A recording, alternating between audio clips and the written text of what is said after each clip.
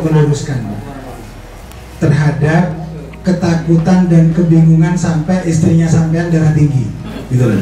itu karena media media itu tidak jelas ini benar atau tidak tapi kalau kita lihat gitu ya kita prosentase barangkali berapa pak polisi kuatnya itu berapa persen Pak? ya ada beberapa mungkin banyak terkait dengan corona ini yang mungkin harus diluruskan ya kami tidak menambah-nambahi. ya. kami tidak menambah-nambahi dan tidak mengurangi atau bukan karena kepentingan BLK tidak. Bukan karena kepentingan BLK nah sekarang buktinya rumah sakit saya tidak dipindah. Rumah sakit di kabupaten yang lain juga tidak, tidak dipindah. Mereka ada di pemukiman penduduk tidak dipindah apa rame itu? Tidak gitu. Rame ketika ada problem dan itu menj- apa apa menjadi sesuatu yang dianggap viral itu baru rame walaupun tidak benar gitu. Itu yang mungkin akan berdampak Bapak Ibu kepada masyarakat. Informasi-informasi yang tidak benar itu. Tadi sudah disampaikan. Sekarang ketidaktahuan Bapak Ibu ketakutan Bapak Ibu gitu ya, kepanikan Bapak Ibu itu akibat ketidaktahuan. Sekarang kami luruskan gitu kami luruskan. Ini memang problemnya problem dunia problem nasional sampai ke problem kita.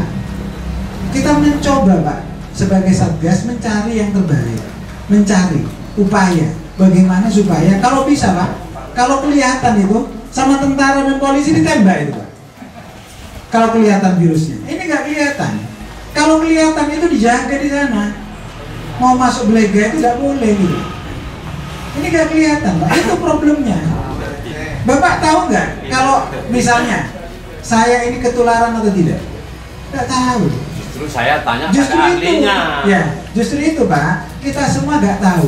Oleh karena itu, mencegahnya, Bapak, mencegahnya adalah itu tadi yang kita bilang harus jauh menjaga jarak.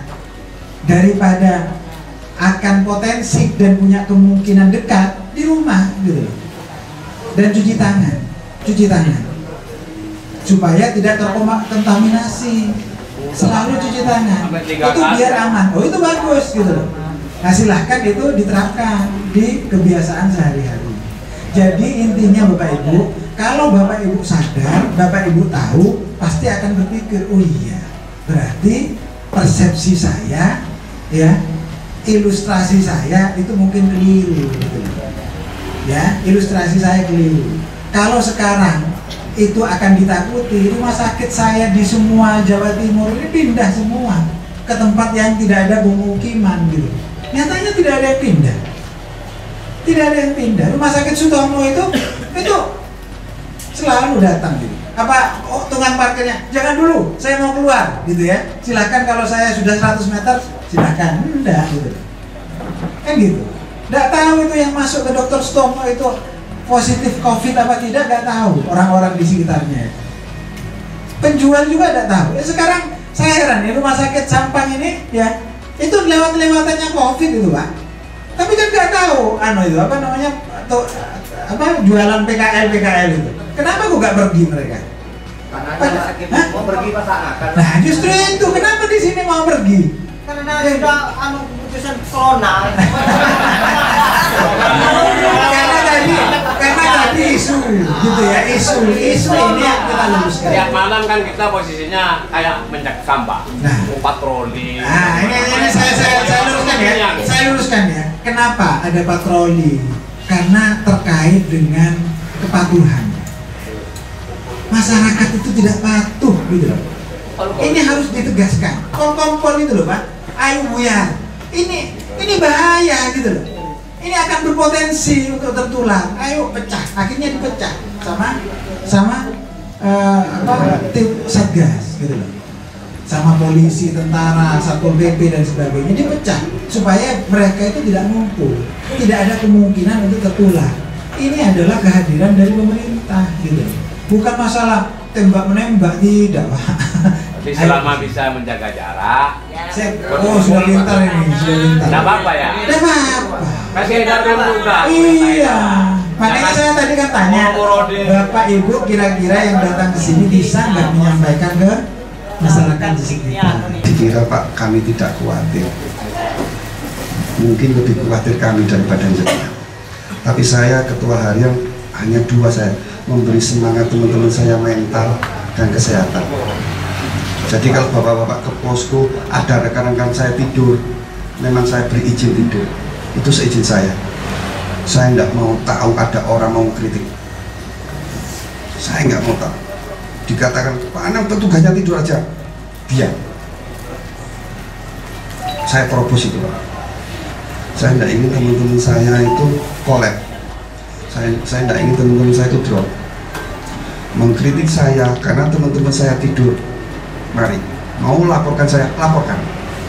Saya tidak ingin teman-teman saya kolab Bapak kembali. Karena tiga rumah sakit rujukan itu tidak bisa Pemkap diwajibkan nyari bangunan milik pemerintah.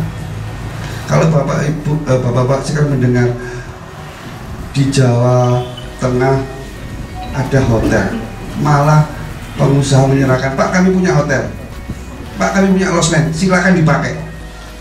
Mereka begitu senang. Di Jakarta jelas ada wisma atlet, ada beberapa hotel yang dipakai isolasi, saking tidak memuatnya pasien yang ada. Kalau sampah mau ditaruh di mana Pak? Disuruh pulang, desa itu ditutup. Kalau di sini kan desa nggak ditutup Pak, yang ditutup hanya gedungnya kok steril. Gedungnya Pak. Kalau jenengan lewat depan nggak apa-apa, nggak akan tertular. Asal tidak masuk ke gedung itu. Kalau lewat kegiatan sehari-hari aja, lewat sebentar foto, monggo, tidak masalah. Mudah-mudahan tidak ada, andai kata ada terus apa yang kita lakukan, mohon berempati. Terima kasih. Saya minta maaf kepada bapak aparat atau yang dari dinas yang terkait. Saya tidak bisa menyebutkan pak satu persatu. Nah, ya, singkat aja. Saya ini sebagai tokoh masyarakat RT 4 RW 4 nama saya Pak Muhyiddin perwakilan dari masyarakat. Memang dulu bersimpang siur masyarakat yang kedatangan di situ menanyakan lo kok bisa ditampung di sini? Apa sudah lapor ke RT sama Pak Lurah? Tidak ada laporan. Sebetulnya masyarakat di sini itu keberatan. Bukannya nggak mau nampung di Kabupaten Sampang katanya. Tolong kasih tempat yang jauh dari pemukiman. Ini kan masih banyak pemukiman tempatnya orang usaha jalan kan masih banyak pak atau yang umpamanya di Kedungdung dikena penyakit taruh di Puskesmas Kedungdung kalau perlu di Sampang gitu maksudnya bukan nggak mau sama-sama manusia punya hati nurani Nah, gitu loh maksudnya.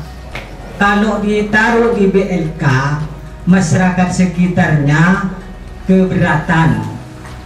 Ini kan sualisasi, kan sualisasi dalam undangan sebelum ditempatin. Sualisasi katanya. Re- Rencana, kan mau rencana ditempatin ini. Masyarakat Polaken ini keberatan.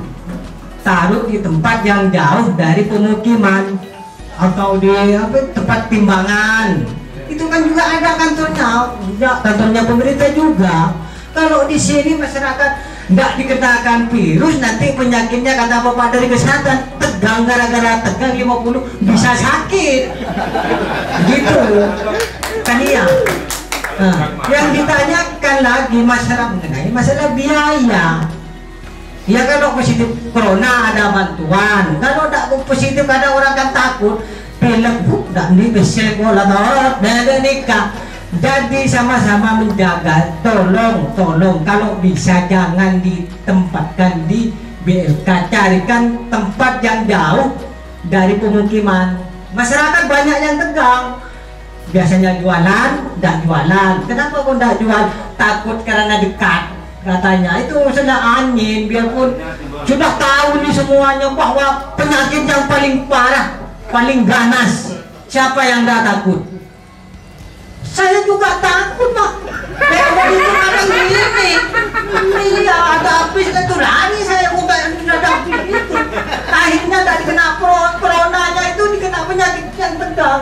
Saya minta tolong bapak aparat dan juga ada ya dari bapak kecamatan sama pak lurah dari dinas termasuk bapak dewan suaranya masyarakat polakan intinya keberatan sekian terima kasih terkait sosialisasi corona nih kak.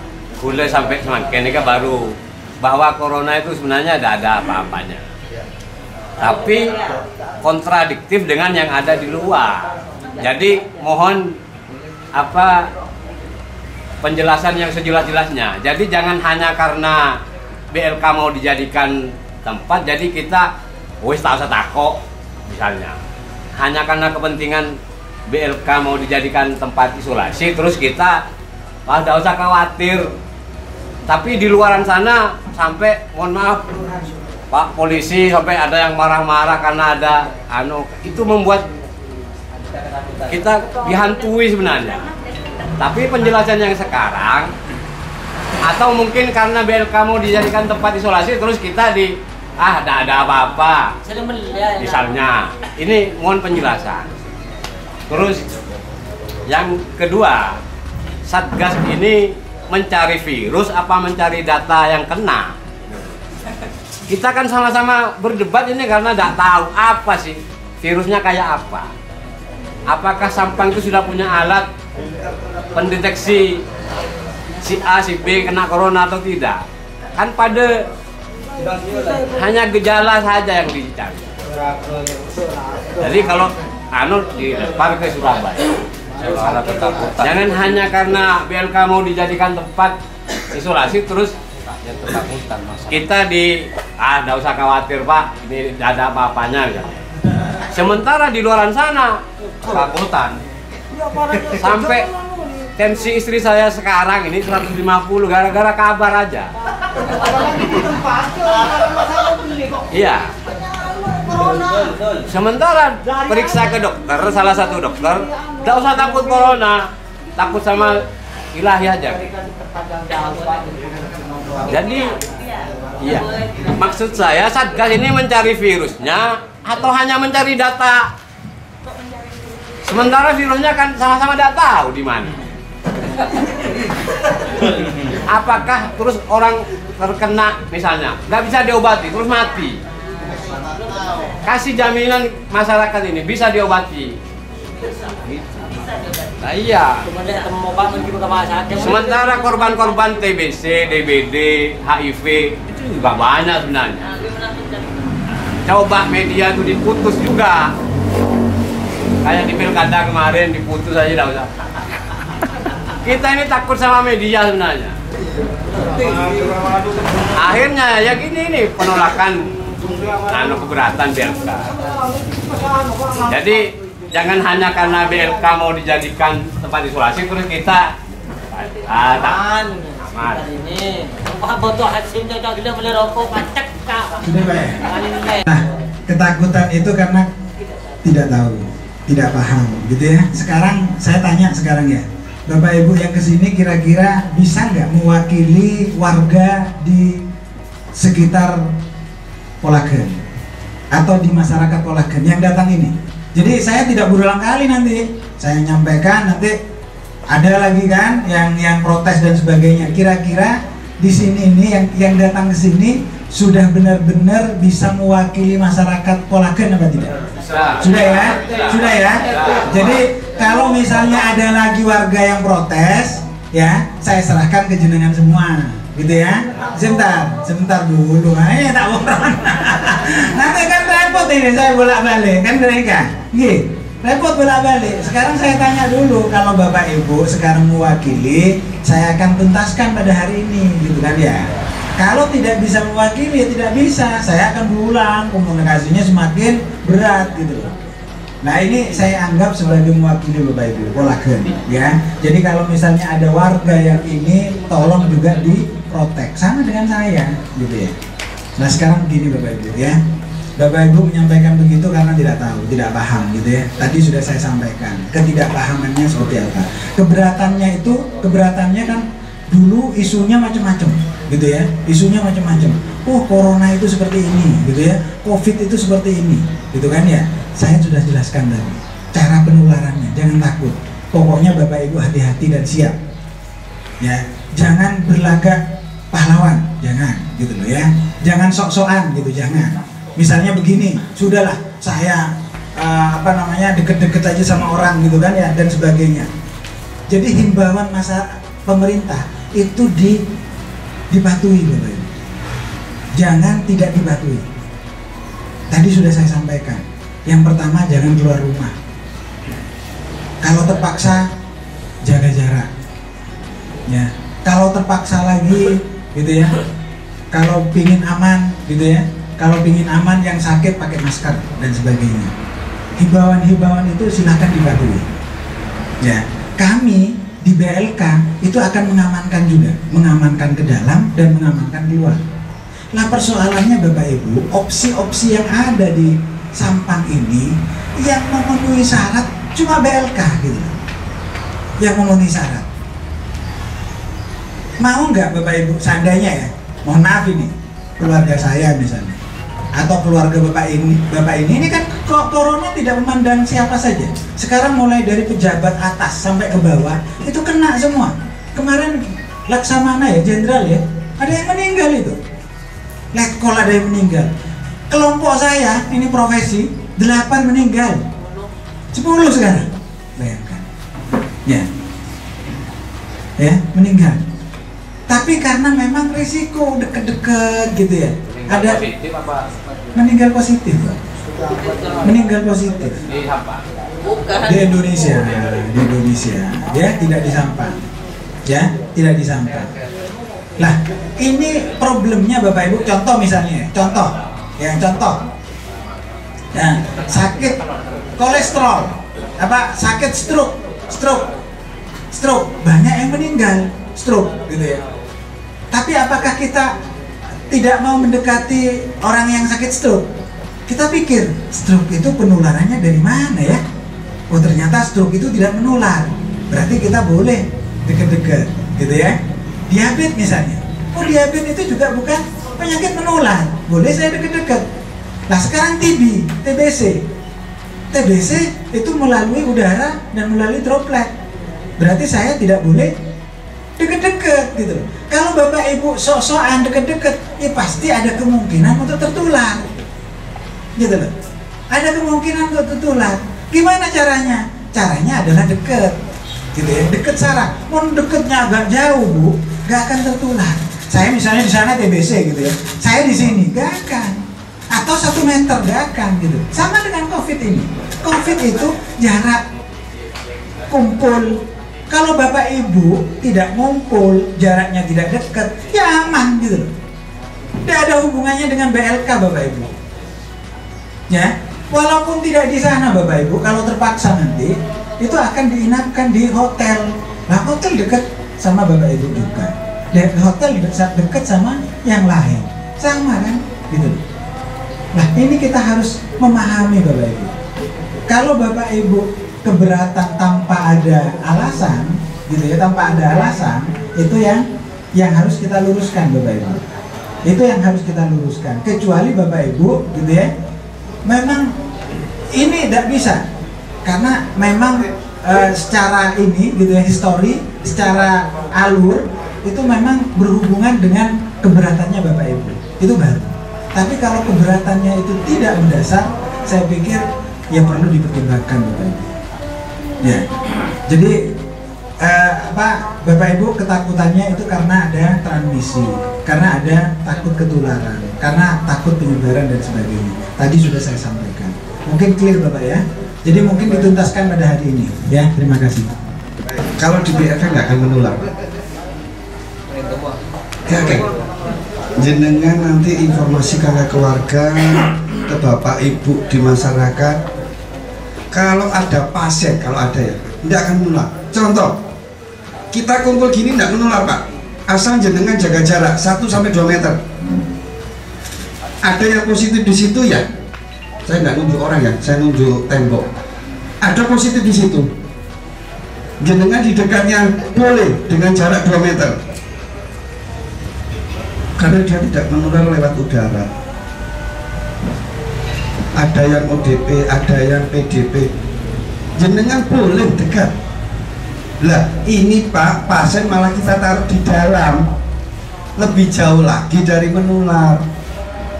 Nggih, jauh dari menular pak. Tadi Pak Kepala Dinkes sudah menyampaikan akan disteril di dalam termasuk akan disteril di luar.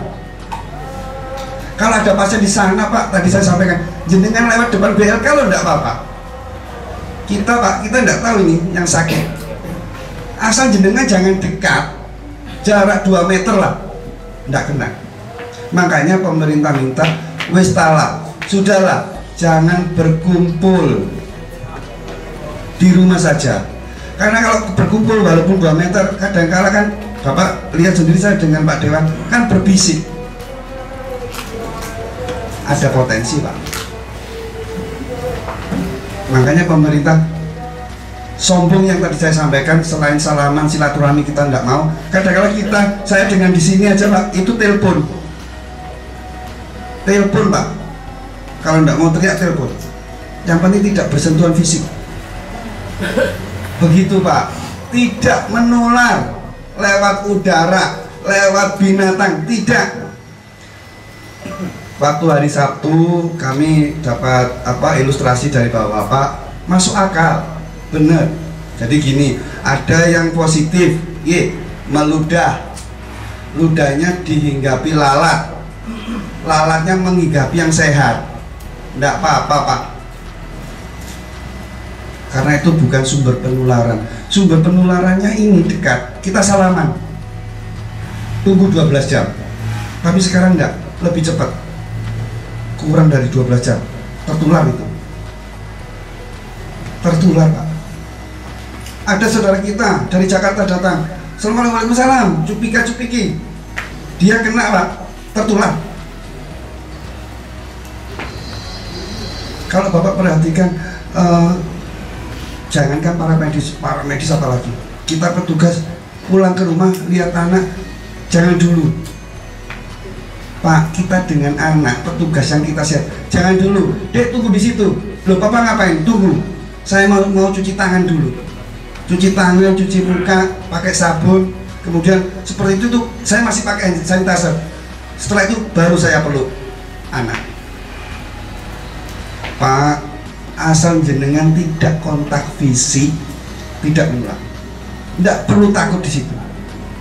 BLK ya sudah di BLK tidak ke mana-mana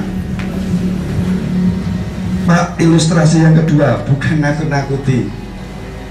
Kalau ada pasien mudah-mudahan enggak. Dia ditolak dia ditolak. Saking jengkelnya dia jalan-jalan. Kalau tadi saran Pak kalau di Kedundung di Kedundung. E, gini Bapak Pak puskesmas Kedundung ada syarat-syarat tertentu Pak untuk isolasi. Bangunannya seperti apa supaya tidak menular dengan pasien yang lain di puskesmas tidak tidak hanya covid yang sakit Pak. Ada yang pilek ke puskesmas sakit pinggang ke puskesmas. Bayangkan kalau yang bersangkutan ditaruh di puskesmas akan menyebar kepada yang sehat dan yang sakit yang lain. Atau yang ketiga Pak ada warga Polagen dia bertempat tinggal di Kedundung sama dengan Pamekasan itu kalau Pamekasan tahu Pak bayangkan anak kecil itu ditolak dari Malang. Ke mana dia? Ada yang sakit di Kedundung orang Polagen.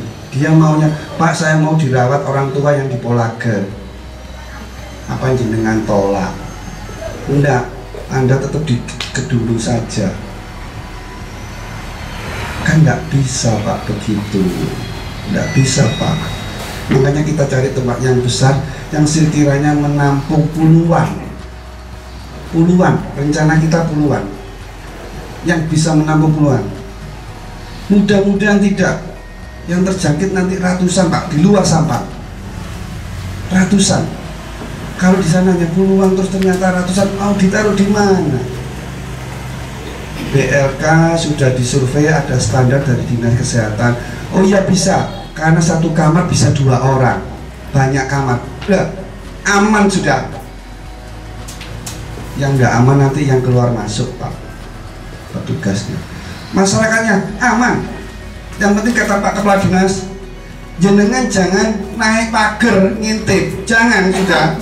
Eh, eh, ngapain juga? Eh, jangan jangan ngintip-ngintip jangan masuk. Kalau ada loh. Jadi tidak menular pak. Nggih, bapak nggih jangan pokoknya pak enggak. Kita ayo unek-unek aja. Kita Nggih, yang layak di sini. Belum ada. Mungkin kalau ada waktu pak setahun. Kalau memang jenengan berdoa setahun loh sakit ini. Kita bangunkan bangun itu butuh waktu 3 sampai 6 bulan. Bangun bangun gedung baru apa ya kita masih mau menunggu 3-6 bulan bangun terus pasien atau saudara kita ditelantarkan? Maksud saya pak berempati. Andai kata gitu ada warga keluarga mudah-mudahan enggak. Mudah-mudahan enggak. Ada di Kedundung dia mau pulang. Yang di sini khusus orang Sampang khusus kecamatan Sampang. Nggih. Orang Sampang dia di Robatal di Ketapang sakit dia mau minta pulang. Terus jenengan tolak. Kasihan Pak kasihan. Kasihan sekali. Aman Bapak. Begitu BLK ini dipakai untuk isolasi aman. Sama dengan aman kita ini. Asal jangan dekat. Asal jangan kontak fisik. Asal jaga jarak. Aman. Tidak akan tertular keliaran pak ya? lebih aman tidak keliaran Oh, Maksudnya yang sakit pak? Loh, makanya kita isolasi mas Aku kopi-kopi luar pak nah makanya bapak kenapa BLK itu mau dijadikan biar dia tidak jalan-jalan biar di situ wes berhenti di situ dan bapak bapak ibu sekalian bisa dibayangkan pak dia di situ sendirian tidak boleh pak. Di gor tidak boleh. Pak satu pasien atau satu ruangan? Maksimal dua pasien satu ruangan. Kita nyekat seperti tadi saya sampaikan kalau memang bapak-bapak ingin corona ini 3-6 bulan pemerintah akan membangun. Tapi tidak bisa pak. Ini sudah darurat darurat